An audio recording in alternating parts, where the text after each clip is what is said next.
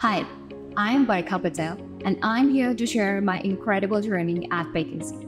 Although it's not been long, I have already started feeling at home. I heard about Bacancy and its fantastic work culture along with the employee benefits. I had been looking for a suitable role, and one day I learned about the recent openings, so I applied.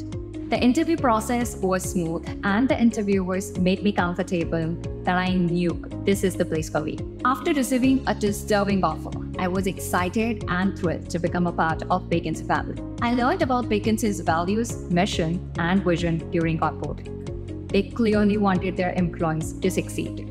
Fast forward to my first week, and I already feel at home. My colleagues have been welcoming and supportive, helping me find my comfort zone. In team meetings, I observed collaboration and open communication thrive.